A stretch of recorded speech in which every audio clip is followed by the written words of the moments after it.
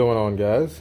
As you can tell by the title of the video, got us a new toy to play with. Before we get into opening this, I do want to give a big thanks to Steve over at Boondockers and Big Rock Firearms for hooking this up for me so I can get it and play with it for a little while and show it to you guys.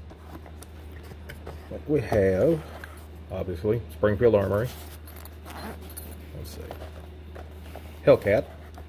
Inside the box you get normal lock and brush and chamber flag and manual.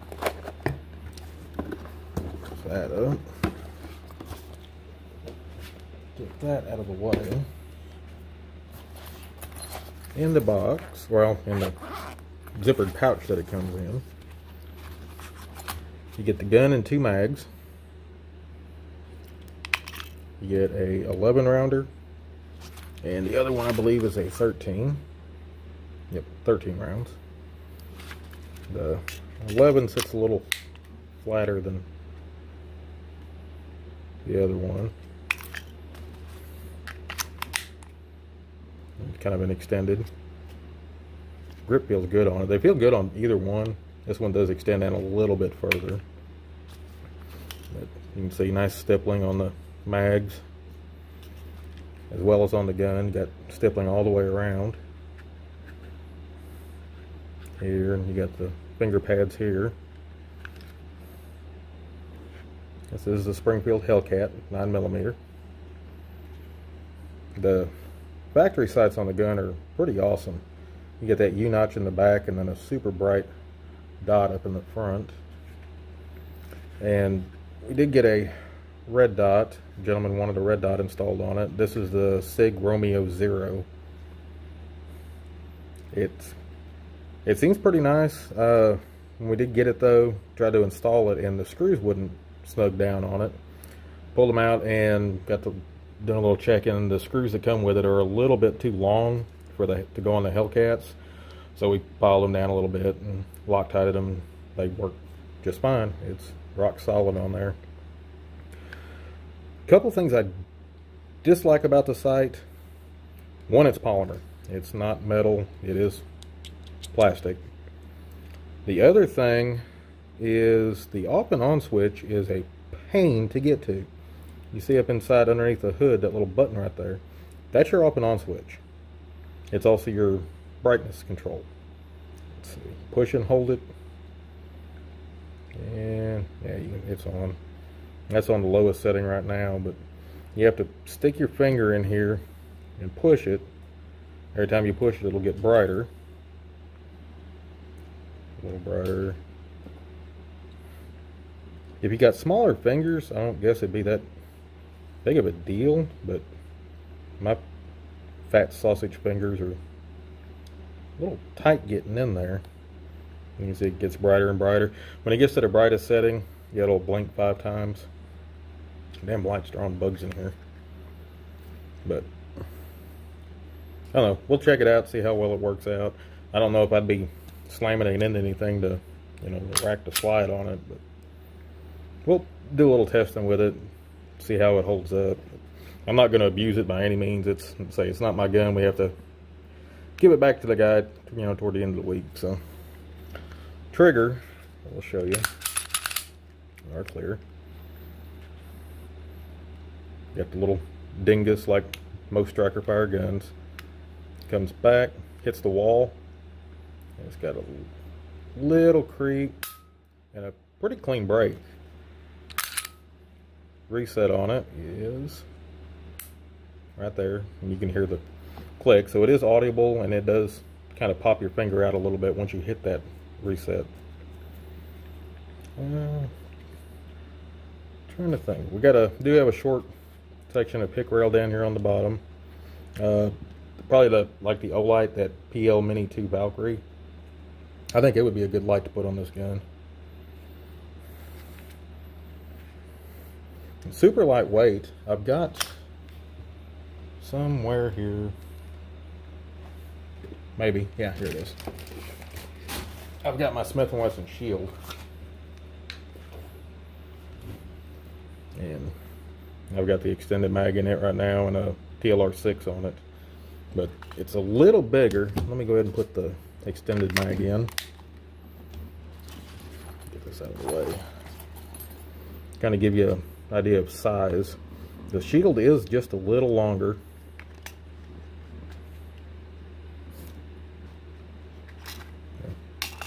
Let's see. Try and line the back up.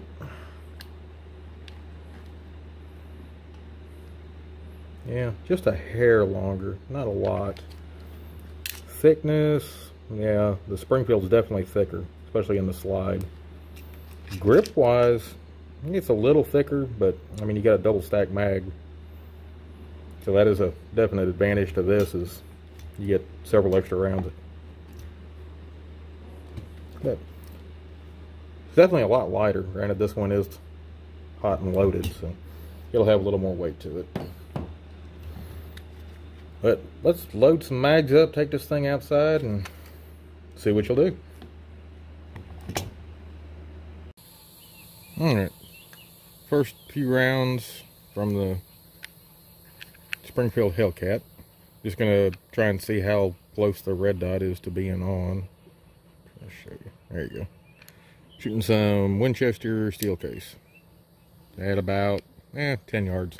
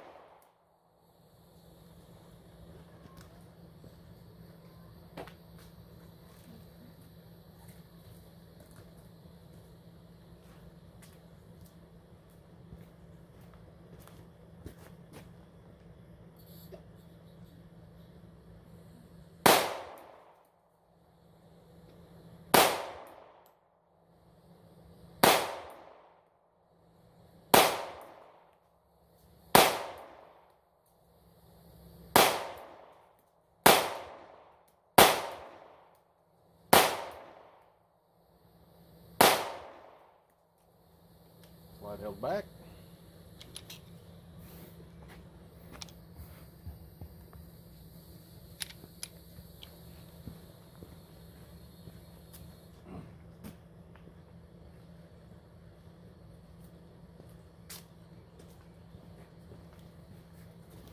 Yeah, printing a little to the left, but not bad at all.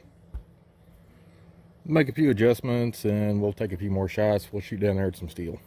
Hang tight. Alright, got it adjusted a little bit. Also moved the camera up some to where you can actually see the gun going off. You know. But another mag loaded with 13 rounds of the Winchester steel case. Seemed to fire them pretty good. Didn't have any issues with them, so...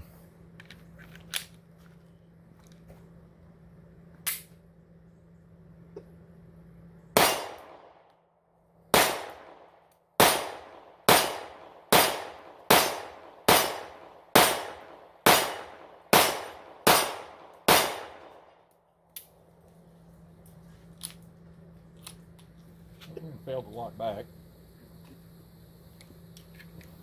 But it did put all the rounds on target. Let me load up and we'll try again and see if that slide lock was me with my grip or what was causing that. Grab it. Okay, back. Got Range Boy heading down there to spray the target for me.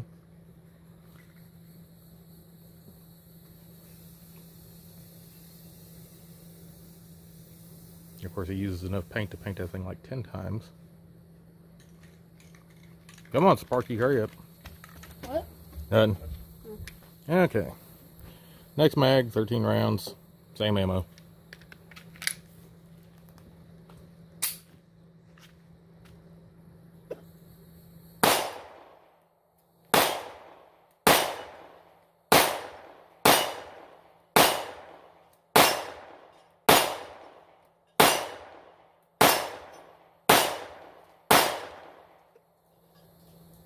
Believe the slide lock a minute ago was me. I think I was thumb forward and pushing down on the down on it. It locked back that time.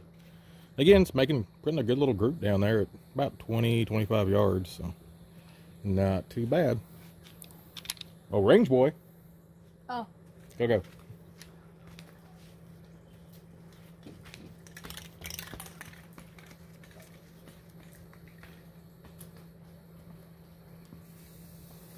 He's doing that, I'll load up another five rounds. I'm going to slow fire on it and just kind of see how small of a group it can do down there. See if I need to make any more adjustments. You know, up, down, left, right, whichever.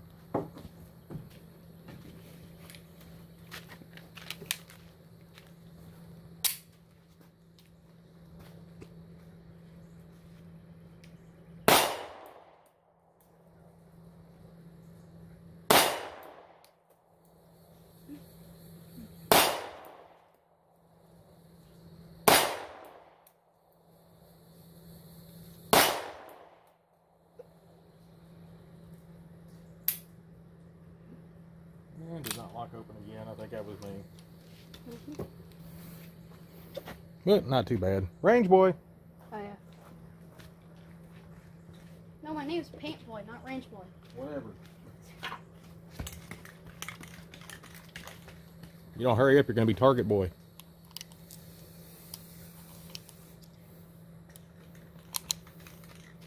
It's actually short and smells. Uh, yes, you are. You what? Yes, yes, you are. Alright, got five more rounds out of that box. That'll be 50 through it. I'm actually going to use the irons on this one, just see how close they are on. Any indication by the dot, way off.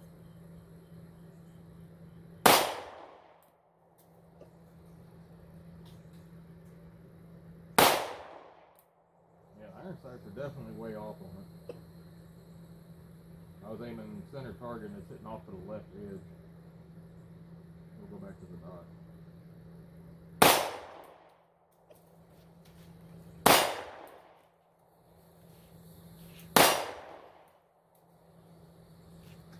Okay, definitely make a few side adjustments on it, but overall, shoots pretty good. It's a little snappier than, say, my shield.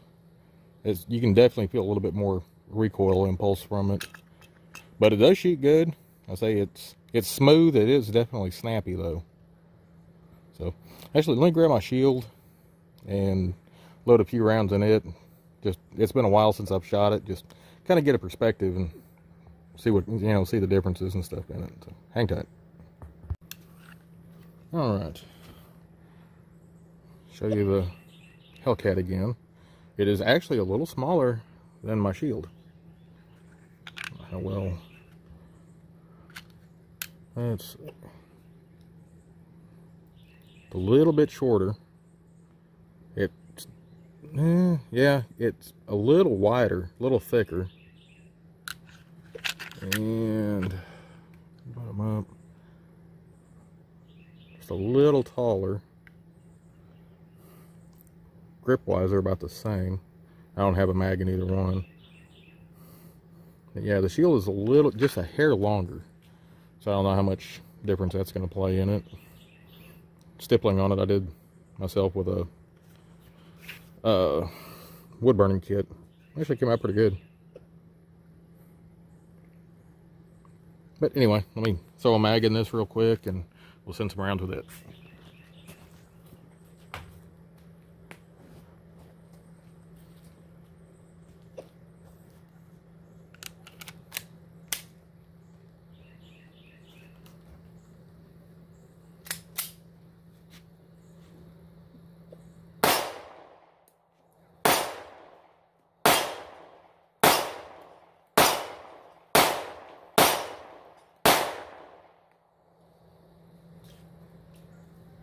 Shield definitely recoils less. It's got, it's not as snappy, I guess you could say. It, it still jumps a little bit, but nowhere near as much as the Hellcat. So, now, granted, I do have a little extra weight on the front with the TLR6 from Streamlight, but it doesn't weigh enough to really make a whole lot of difference in recoil. So, but yeah, just just something to note. It does have a tad bit more recoil in the shield. All right, got him running down range. Spray the target again. We're gonna move up a little closer, probably about 15 yards. Yeah, somewhere about in here.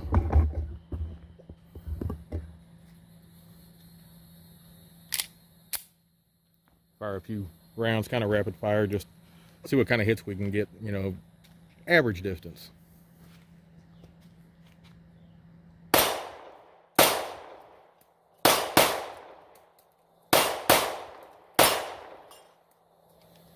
Yeah, got them all on target.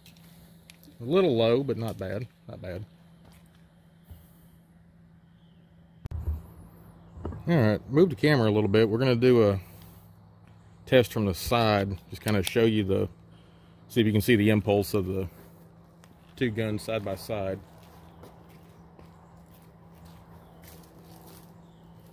All right, Hellcat first.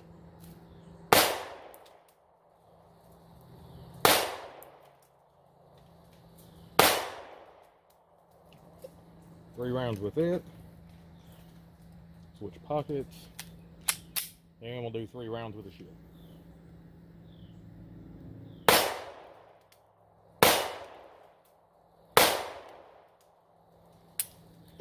And I got a bad habit of riding, riding the slide lock. Alright, this time we're going to try a different angle, let you see some more of the recoil. We're going to do the, well, or the, not, the Hellcat first.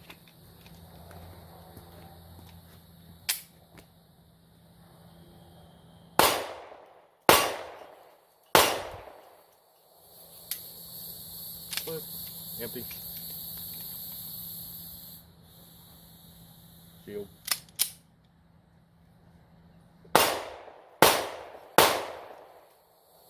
Yeah, definitely much less with the shield. Just wanted to give you guys another perspective of it. But anyway, let's take them back in, kind of do final thoughts on them, and see what we think. Stick around. All right, we're going to try from, from concealment with a reload.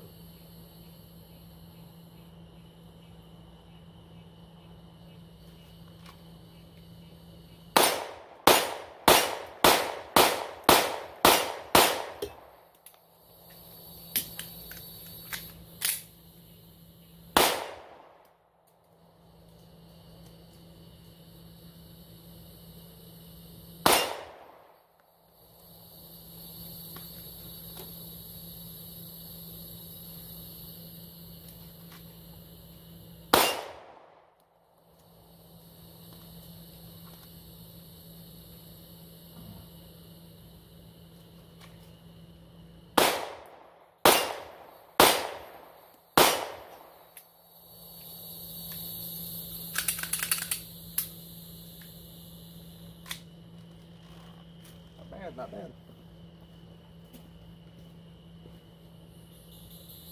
All right, guys. Final thoughts on the Springfield Hellcat. I like the gun. I really do. It say it's definitely snappier and recoil than the Shield, but it's not uncontrollable by any means. I like the red dot on it. Uh, it seems to hold zero. We put about 100 rounds through it, and it seems to be doing fine. Uh, I'm say I don't like the fact you got to shove your finger way the hell in here to turn it off. Damn, I just got my finger all printed up on this cleaning mat. But yeah, that's really the only thing I can ding about the sight is you got to shove your finger way the hell up in there to turn the damn thing off. Which I don't know. I guess it's not a bad, you know, a deal breaker or anything. You push hold for two seconds and it goes out. But it will automatically turn itself off after, I want to say it was like two minutes or something like that. But as soon as it senses movement, it kicks back on. So it is pretty neat. Uh, you do have to remove it to replace the battery. It is underneath here. It sits right up here in the front. Not that big a deal. They say it goes right back to zero, but they say it's got like a 20,000 hour battery life on it. So pretty good. But overall, yeah, I think it's a great gun. It's definitely lighter than the Shield. A little bit smaller. Will I sell my Shield and go buy one of these? No. I'm happy with my shield. But that's not knocking this by any means. Uh, This is a great gun. You know, we've only got 100 rounds through it. Granted, it was was steel case, so I figure if it was going to have any issues, we'd have had it with that. So, anyway, guys, I'm going to shoot this thing some more throughout the week. Just kind of play around with it some, and if I have any issues, I will definitely update y'all and let you know, and try and get some video if we do go back out and shoot some more. So, anyway, you all have a good one. Catch you in the next one. Later.